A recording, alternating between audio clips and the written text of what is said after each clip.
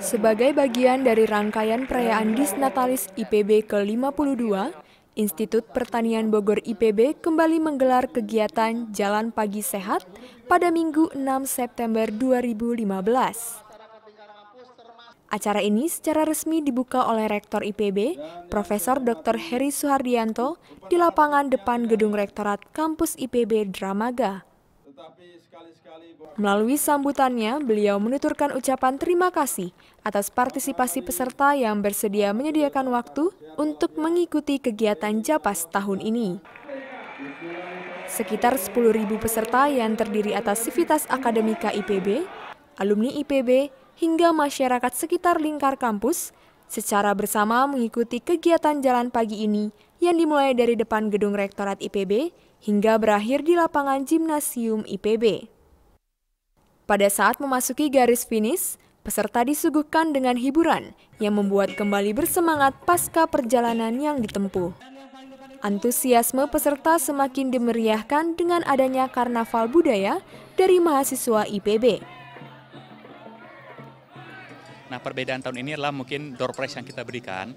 Jadi kalau tahun kemarin itu door prize-nya adalah hadiah utamanya berupa sebuah sepeda motor. Nah kami tidak ingin menjadikan sepeda motor, kami tidak ingin menambah kemacetan kota Bogor.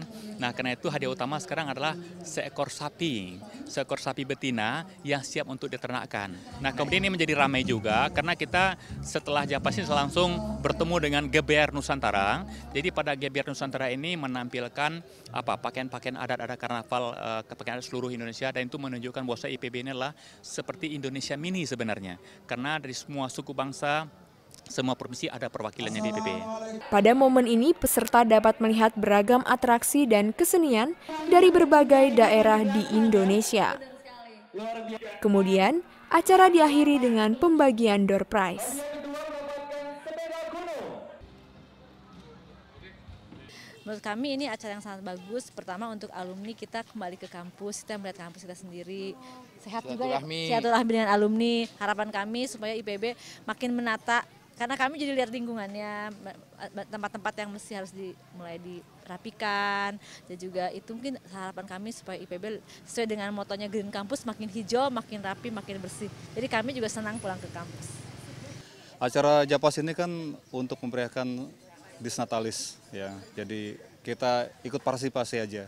Ya mudah-mudahan ini ke depannya IPB jadi lebih maju ya, lebih maju dan memberikan kontribusi yang baik kepada masyarakat. Ya. Melalui Japas tahun ini, diharapkan peserta dapat menerapkan gaya hidup sehat secara berkelanjutan dan diharapkan antusiasme peserta untuk mengikuti acara Jalan Pagi Sehat ini semakin bertambah pada tahun berikutnya. Selamat ulang tahun IPB yang ke-52 IPB Jaya. Selamat ulang tahun IPB, jayalah IPB kita. Romana Aritonang dan kru yang bertugas laporkan untuk Green Highlight.